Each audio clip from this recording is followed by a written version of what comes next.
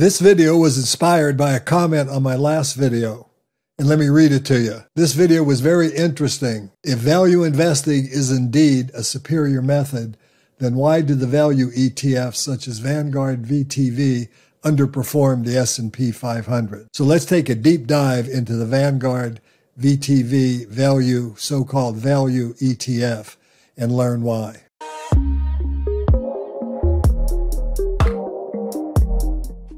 Hello, everybody. This is Chuck Carnevale, co-founder of FastGraphs, the Fundamentals Analyzer software tool, aka Mr. Valuation.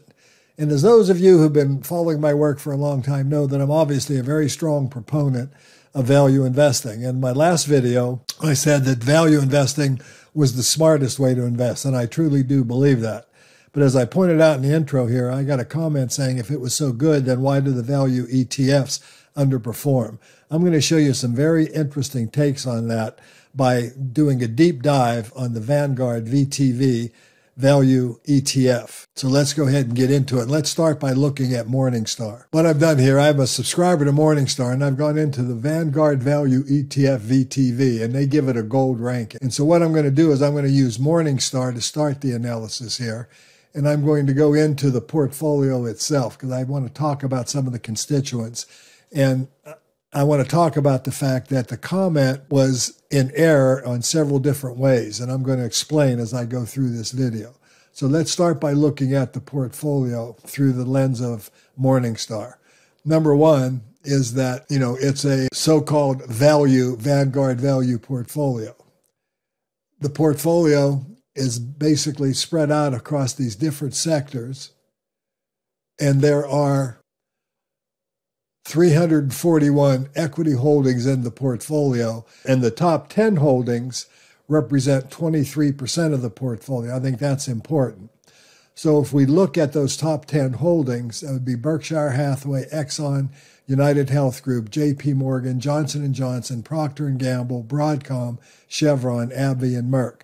Now, the first thing I'm going to point out is that I don't necessarily believe that these are all value stocks. And if this is a value ETF, that's going to be my first conundrum, which I think the first error is.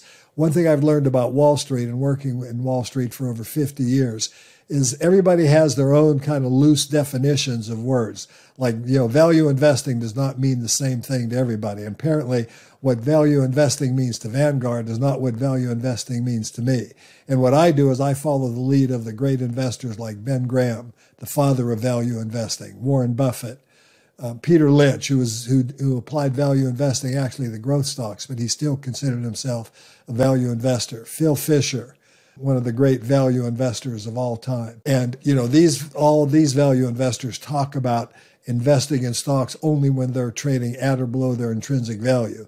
And Ben Graham taught us, and I mentioned this in the last video I did, that, you know, you should never pay more than a 15 PE ratio.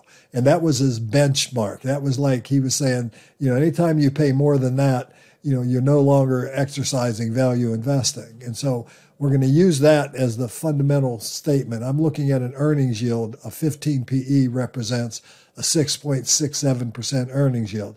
That's like the average rate of return stocks have delivered on the low side. 6 to 8% has been the average long-term return from stocks, sometimes better and sometimes worse, depending on whether you're in a bull market or a bear market, but that's a really good long term average. And so I don't ever want to invest in a stock unless the company's earnings represent a rate of return that at least mirrors that average annual rate of return. So that's for starters.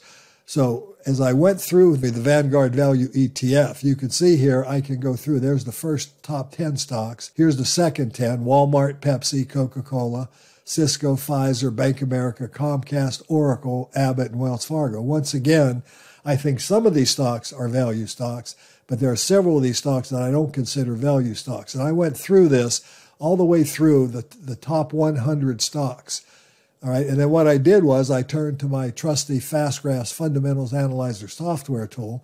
And incidentally, you know, you can analyze individual stocks with this tool, but one thing a lot of subscribers don't realize is you can also analyze things like ETFs and mutual funds. In fact, I think you can analyze ETFs and mutual funds better using FastGraphs than any other tool I'm aware of. And let me explain by showing you how I analyze the Vanguard value VTV ETF. So first of all, I put the 100 stocks in a portfolio in FastGraphs, and I named it the portfolio, the Vanguard VTV portfolio. So these are the holdings. These are the top 100 holdings in there. Now remember, if you go back to the Morningstar very quickly, you know, you can see that some of these, you know, stocks had like a half a percent.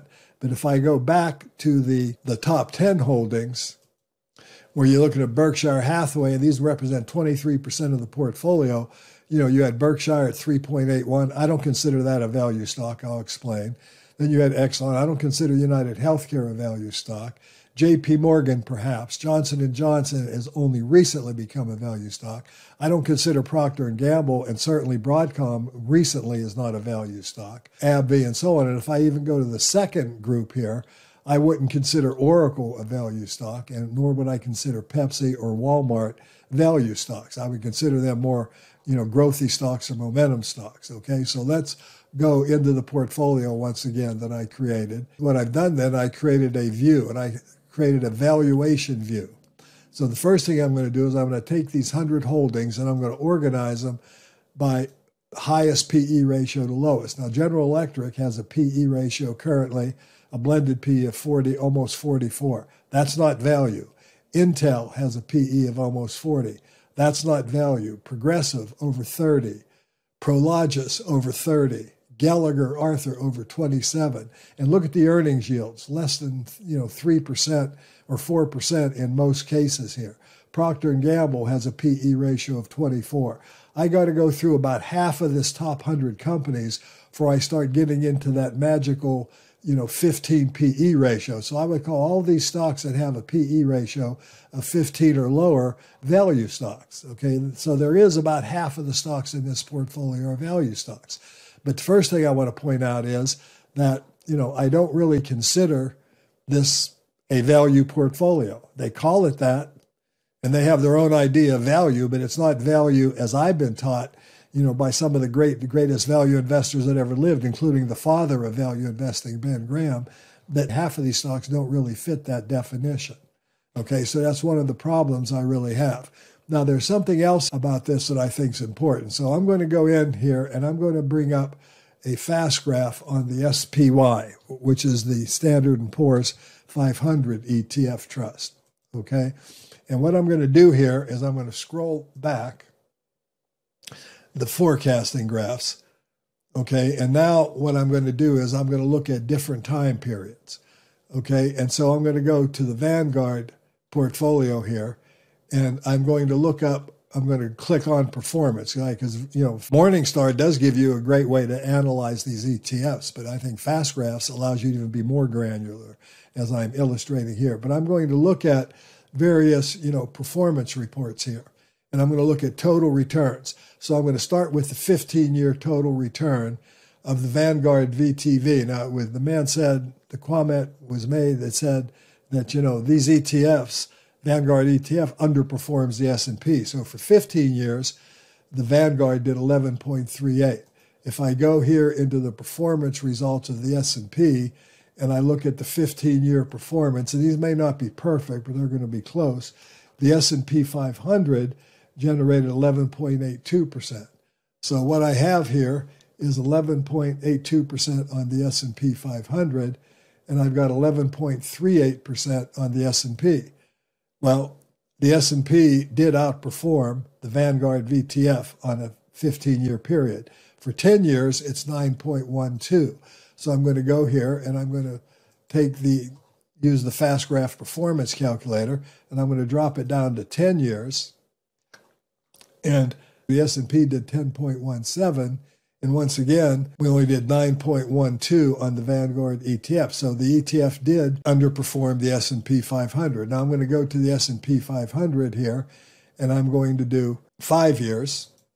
Okay, now for the last 5 years, the S&P did 12.8% and Vanguard did 8.38%. So again, I have 12.8 versus 8.38. So it definitely has underperformed as was reported the S&P 500. But once again, as I go into this portfolio and I review this portfolio, I find a lot of these stocks are simply not value stocks. Now, there's some issues here. General Electric is a stock, you know, using the pop up here, General Electric is a stock that has had really horrible operating history here over the last several years.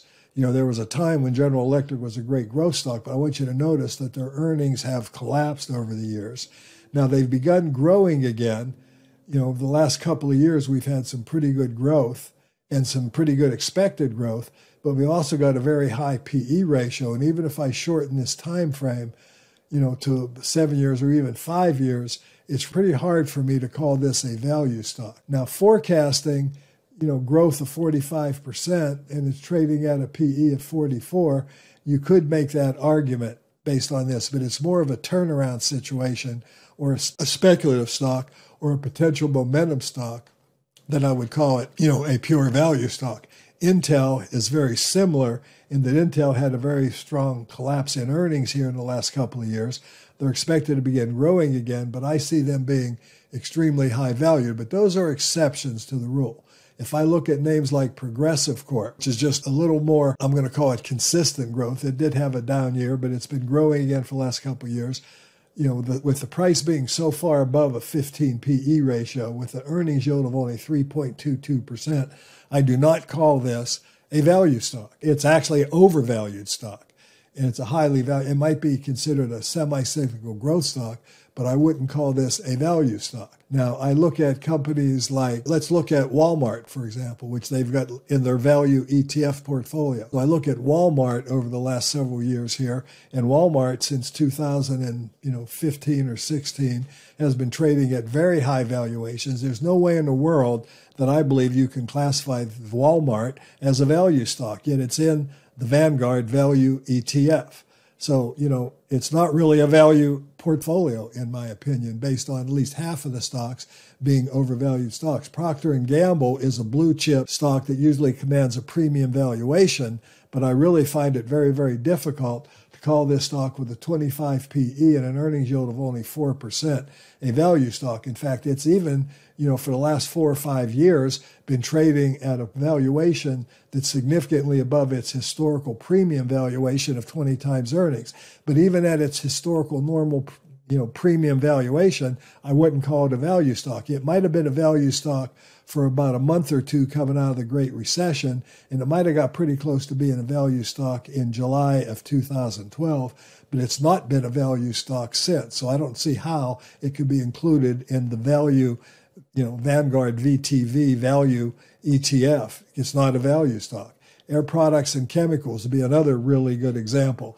This is a dividend growth stock. But, you know, since 2013 or so, this stock has been trading at premium valuation. So how does it end up? You know, did they buy it back here? Maybe they bought it back here when it was a value stock, but it's no longer a value stock. And so should it stay in the value ETF? So the point I want to make on this if you were an investor today looking for you know value to, you wanted to be a value investor and you wanted to do it through purchasing an ETF you know that it makes sense to purchase an ETF where you know almost half the stocks are not value stocks and only half of them are value stocks and in my way of thinking as quote unquote Mr. Valuation I think not you look at a great name like Illinois Toolworks this is a great company and I love Illinois Toolworks but it's been hasn't been a value stock. Again maybe since going all the way back.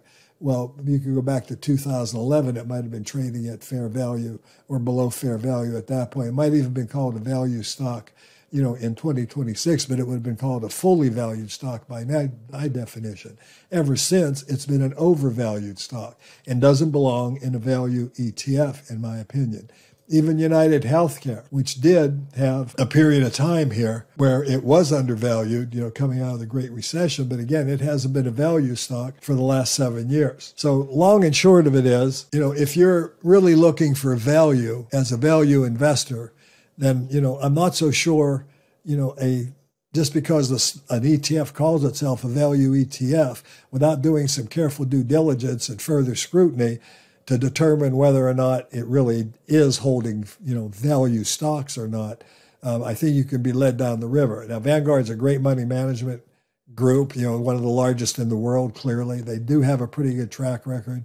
The value ETF did, ironically, you know, underperform the S and P 500, but it did it because it only owned half of the stocks in the portfolio were value stocks, at least in my opinion. So I wouldn't be able to say, well, you know, if value investing was so smart, why did you know the Vanguard VTV underperform the S and P?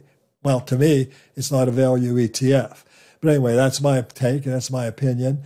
But that opinion is based on what I illustrated here in this video. So I hope you enjoyed this video. And I hope you see how powerful a tool FastGraphs is. It can help you not only analyze individual stocks, but it can help you put together an analysis on things like ETFs and even mutual funds and even closed end funds. All you got to do is find the constituents, create a portfolio of you know those constituents and then run them through the valuation references that we create like the value view that I created on the VTV and see or not, you know, if, if the stocks that are actually in the portfolio meet your criteria. And my problem with packaged products, I don't like them.